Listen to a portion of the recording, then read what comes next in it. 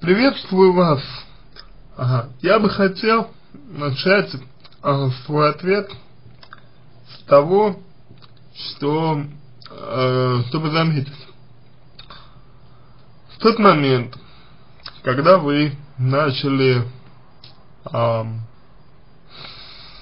строить свои личные отношения, хоть, хоть вам сейчас и 18 лет, но, тем не менее, а, хоть вы а, и, может быть, а, не считаете себя взрослой еще, и по-прежнему прислушиваетесь к своей маме, но в тот момент, когда вы начали э, строить свои личные отношения, э, мнение вашей мамы э, перестало быть для вас э, значимым. Потому что для своей мамы вы э, почти всегда будете маленькой. Для своей мамы вы почти всегда будете той, о ком она будет заботиться, о ком она, о ком она будет переживать, а, о ком она будет беспокоиться, и кому она не будет давать, по сути дела, жить а, так, как вам хочется. То есть жить так, как вы этого хотите, жить так, как вы этого достойны, жить так, как вам уже по сути это дело пора. А вам именно пора уже жить своей жизнью. И поэтому первое, первое, что мне хочется сказать, это то, что вот если вы говорите, что маме об этом не, э, не можете сказать, о том, что молодой человек предлагает жить вам э, вместе, да, вот вы говорите, как я родителям скажу, э, берете просто и говорите, что, знаете, я хочу жить молодым человеком, что у меня нет отношений, что я испытываю ему симпатию, что я хочу с ним быть и все. То есть больше вам, в принципе, и не надо ничего, а, на самом деле. А, и пока вы будете оглядываться на родителей, ну, а, построить отношения вам будет действительно сложно.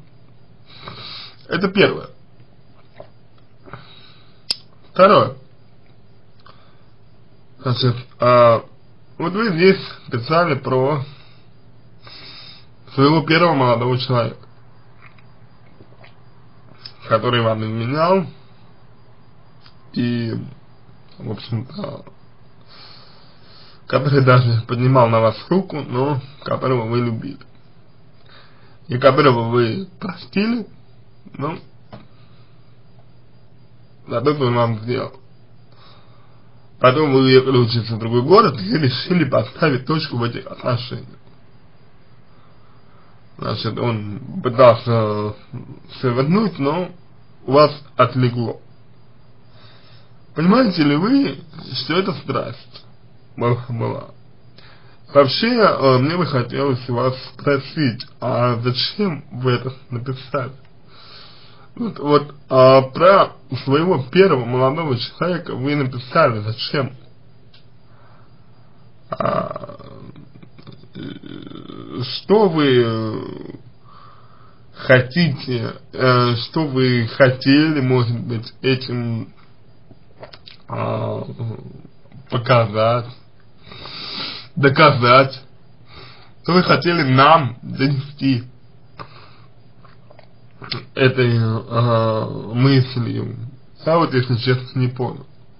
Да, поднимал молодой человек на вас руку. Это, безусловно, плохо. Изменял вам, это, безусловно, тоже плохо. Но вы о нем уже, как я понял, не думаете.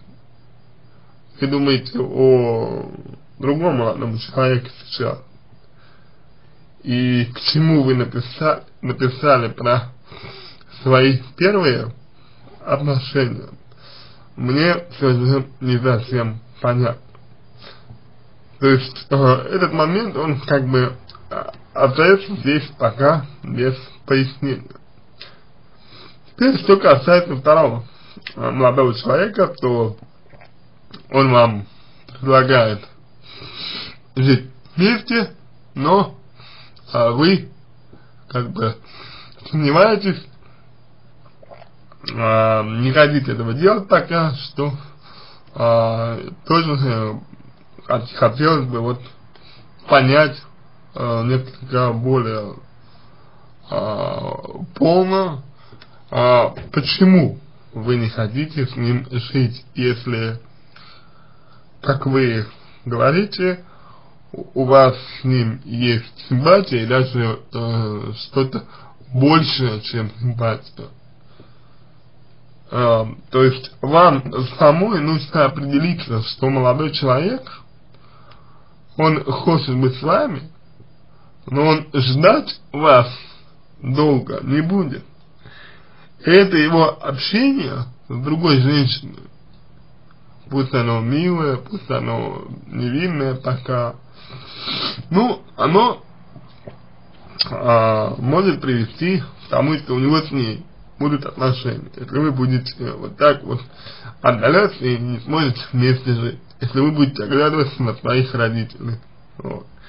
Просто потому, что мужчина, видимо, считает, что отношения без личных встреч или отношения со встречами раз в две недели, это очень мало. Но опять, он вправе так считать, это его выбор. Далее, а, значит, вы пишете о том, что он называет вас маленький, говорит, что я боюсь быть зависимой, если мы будем жить вместе. А, не очень понятно, что это значит. То есть, вы боитесь быть зависимой, если вы будете жить вместе. Где здесь логика? Как вы будете зависимы? В чем вы будете зависимы? Не очень понятно. А, вы говорите, что это не так, он говорит, что это всего лишь слова. Если бы я хотел, то все было бы хорошо. Ну, вы знаете, э, вы, вы, знаете, мне кажется, боитесь э, не то, чтобы быть зависимым. Думаю, что вы боитесь быть независимым. Вот так мне почему-то думается. А вы боитесь до конца вступить во взрослую жизнь, которая перед вами сейчас э, предстает. Вы боитесь сделать этот шаг.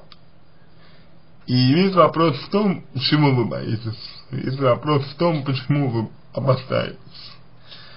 Вам ничего не мешало а, до 18 лет встречаться с другим парнем и терпеть от него насилие, терпеть от него измены, при этом быть, наверное, под защитой своих родителей. Но и вы были зависимы от него если вы не хотите повторения э, подобной ситуации, то вам необходимо поменять отношение в первую очередь к себе и учиться все-таки отстаивать свои интересы. Это возможно только в том случае, если вы будете действовать так, как вы хотите. Без оглядки на кого-либо, без а, прощения людей за то, без а, принятия мужчин, которые вам изменяют, причем систематически, и уж тем более без принятия мужчин, которые вас не уважают, не любят и не ценят. То есть, э, если вы хотите отношения наладить, то вам необходимо в первую очередь отставить свои интересы перестать оглядываться на своих родителей. Думать о том, чего, ну, что, что хотите вы. Преодолеть свои страхи, если они есть. Поработать с ними отдельно, с этими страхами. И, и главное, рискнуть. Лю любые отношения, это всегда риск. Если вы не готовы рисковать, вы не готовы быть в отношениях. На этом все. Надеюсь, что помог вам. Если какие-то дополнительные вопросы у вас остались, буду рад помочь, пишите в личку. Если понравился мой ответ, буду благодарен, если сделаете его лучше. Желаю вам всего самого доброго и удачи.